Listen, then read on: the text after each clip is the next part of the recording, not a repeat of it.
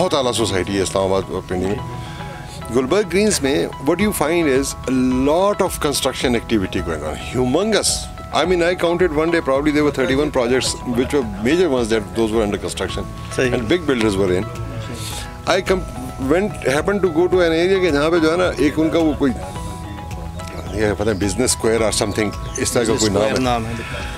वहाँ मैं गया वहाँ सारी कंप्लीटेड बिल्डिंग्स थी vast majority of them maximum occupancy was probably 10% or below.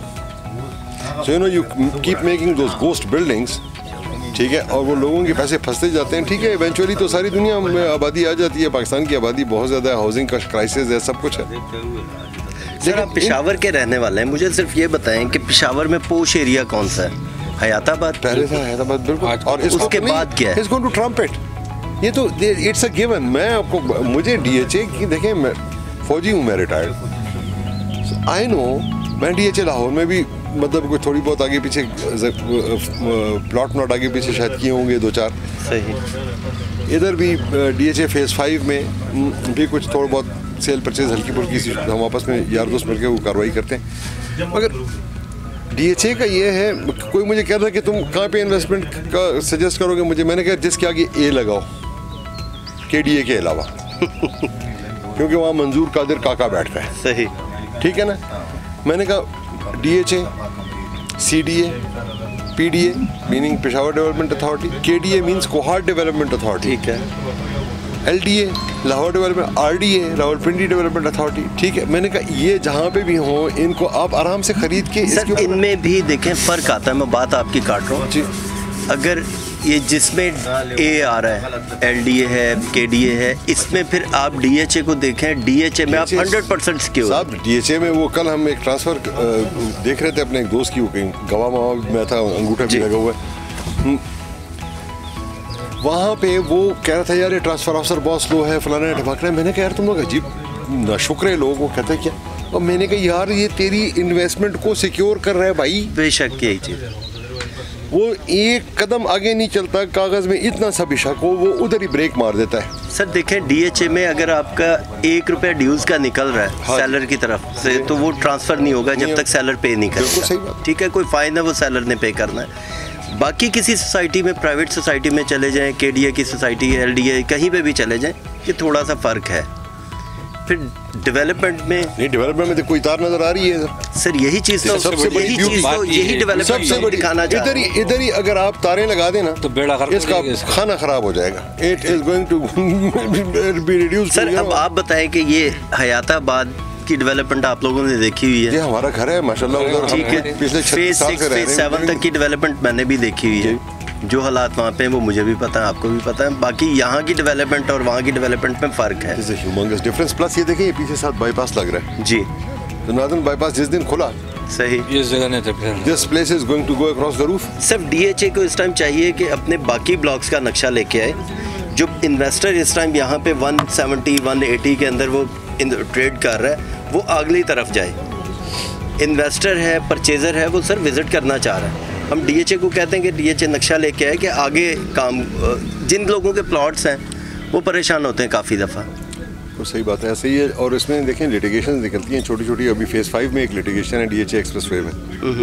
वो सुना है अल्लाह जानता है मैं तो डीएचए का वो- वो नहीं हूँ I have no connections there except for being an enforcement इधर उधर कहीं होते थे तो उनसे भी कभी हमने उनके पास भी नहीं थे गए वो बेचारे अपनी नौकरी करते हैं।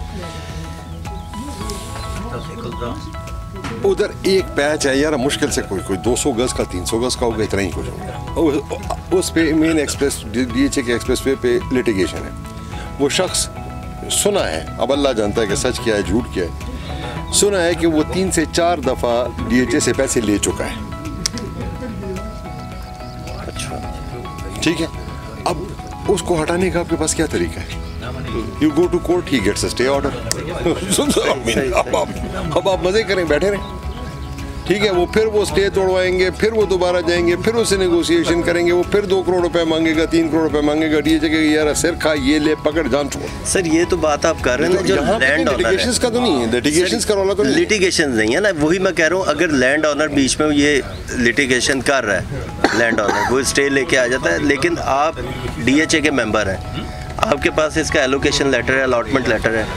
डीएचए आपको सफ़र नहीं करवाएगा। हाँ आपकी लोकेशन चेंज कर देगा हाँ, लेकिन प्लॉट आपको देगा। प्लॉट रीएडजस्ट कर देगा जी, ऐसे ही। प्लॉट रीएडजस्ट कर देगा आपको। तो यहाँ पे सर डीएचए में तो काफ़ी ज़्यादा इस तरह की सिक्योरिटी आपके पास है। नहीं बड़ा नहीं ओवरसीज है और वो इन लोगों के उस वो स्पेशली ओवरसीज के लिए तो मैं हर एक को कहता हूँ कि देखो भाई वगैरह जो भी बाहर में कह रहे हैं डीएचए में प्रॉपर्टी खरीदो। उसके बाद जो अलॉटमेंट लेटर है उसको बक्से की निचली वाली तय में डाल के भूल जाओ।